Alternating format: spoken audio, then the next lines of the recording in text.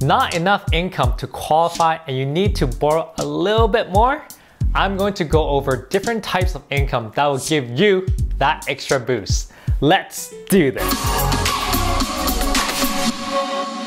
How's it going? My name is John and I am a mortgage broker located in Vancouver. If you want to learn ways to be approved for mortgage, home buying tips, and other mortgage related stuff, start now by subscribing and clicking on the notification bell so you won't miss anything. We all know Vancouver housing prices are expensive, so maximizing your income to maximize your borrowing power is what lots of people are requesting for. We know income plays a big part of the mortgage approval, and of course, your salary will determine approximately how much you can qualify. But we can get a little bit more with income that you may not know uh, will help you qualify. So let's get to it. First thing is disability income. If you are on a long-term or permanent disability, we can use that income as well. Documents banks may need to see are a letter from your insurance company confirming the amount you are receiving. Also, you need to provide recent statements showing the amounts are deposited. Next is spousal support. Child and spousal support are often available in a breakdown of a marriage. Banks will need to see a copy of the separation agreement which will list out the amount responsible for each party in the relationship. If you have a net gain in their agreement, that amount can be added as income.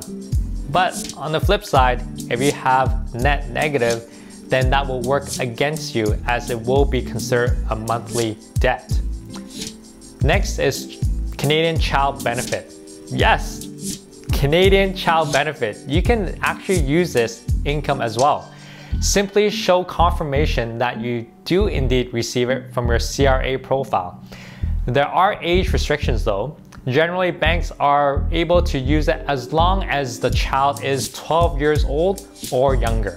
Next type of income is maternity leave. So for moms to be, this is a big concern if you need to upgrade to a new home, but you're no longer working because you're on mat leave. That's okay. Banks can use your full income as long as there's a letter from your employer stating your return date in 12 months and that you are guaranteed your position and pay when you return. Next type of income, rental income. If you have a rental property, we can use it to bump up your mortgage amount or offset the mortgage payment that you currently have. Banks usually need to see your two years of tax filing and tenancy agreement. If it's a new rental and you have not had that income reported yet, that's okay as well. Some banks will allow a market rent report. This is completed by a licensed appraiser and we can project approximately how much you can potentially receive from rent. So lastly, it's investment income.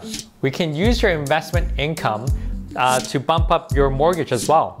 This is usually interest and dividend payments. Same as rental income, we'll need your last two years of tax filing and banks will use the average amount to determine the income.